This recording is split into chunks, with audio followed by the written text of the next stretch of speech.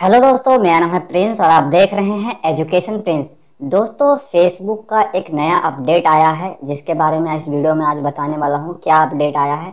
तो यहाँ पर आपको स्क्रीन पर दिख रहा होगा, मैं गूगल खोल कर बैठा हुआ हूँ। तो यहाँ पर हम पहले सर्च करते हैं फेसबुक ऑडियंस नेटवर्क जो कि मैंने पहले सर्च कर लिया था।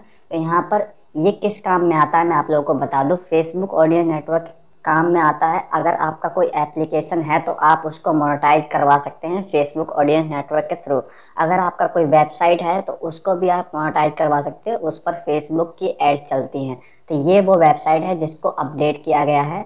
तो कुछ इस तरह से आ रहा है मेटा ऑडियंस नेटवर्क जो कि मोबाइल ऐप मोनेटाइजेशन इसको सिर्फ़ इसी को अपडेट किया गया है बाकी जो नीचे हैं ये धीरे धीरे बाद में अपने आप अपडेट हो जाएँगे। लेकिन जो मेन वेबसाइट है इसको अपडेट कर दिया गया है तो इसको खोलते हैं और देखते हैं अंदर कैसा हो चुका है। तो यहाँ पर देखिए फेसबुक हटकर मेटा ऑडियो नेटवर्क आ गया है। मतलब अब इसको मे, मेटा हैंडल करेगा मेटा इसको मैनेज करेगा सब कुछ यहाँ पर जितनी भी चीज़ें हाईलाइट हो रही हैं ऐसा कुछ पहले नहीं दिखता था।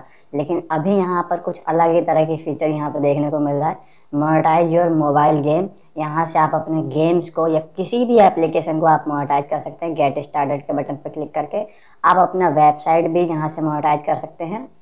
ऑडियंस नेटवर्क के थ्रू आप आ, अपनी वेबसाइट पे एड्स चलवा सकते हैं। जैसे आप गूगल एडसेंस पे चलाते हैं। तो यहाँ पर लिखा है increase efficiency remove the burden of waterfalls and save time the bidding मतलब आप बीडिंग लगा सकते हैं और अपनी उसको इंक्रेज कर सकते हो, अपनी एप्लीकेशन को प्रमोट भी कर सकते हो।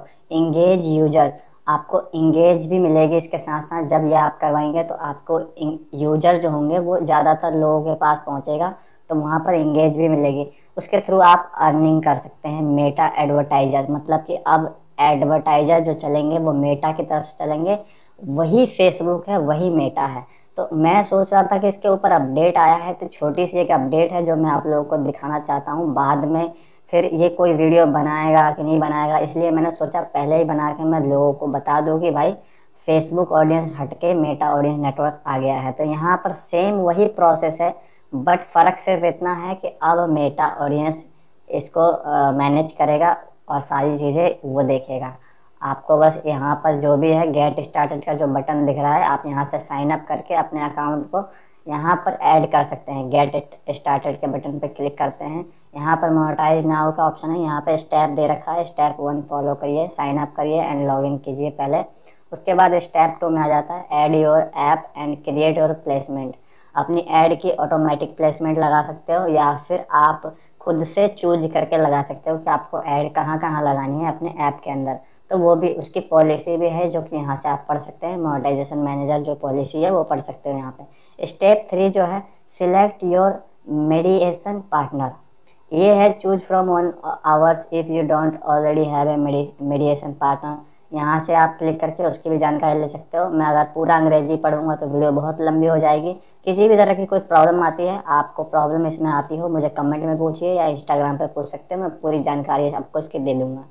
Setup your apps with bidding ये स्टेप फोर में आ जाता है। बस यही आपको चार कंप्लीट करने होंगे देन आपका मोनेटाइज हो जाएगा एप्लीकेशन कुछ इस तरह से। आप अपने एप्लीकेशन को प्ले स्टोर पर पब्लिश करके उससे काफ़ी अच्छा खासा पैसा कमा सकते हैं ये मेटा ऑडियंस नेटवर्क के थ्रू पहले लोग इसको ऑडियंस फेसबुक ऑडियंस नेटवर्क के नाम से जानते थे लेकिन अब मेटा ऑडियंस ना, नाम हो गया इसका और आने वाले टाइम में बहुत कुछ मेटा के नाम से हो जाएगा। तो ये छोटी सी एक अपडेट थी। आशा करता हूँ आप लोगों को वीडियो पसंद आई हो। पसंद आए तो वीडियो को लाइक कर दे। किसी तरह का कोई सवाल हो तो कमेंट में पूछ लेना। और मिलते हैं नेक्स्ट वीडियो में। तब तक के लिए बाय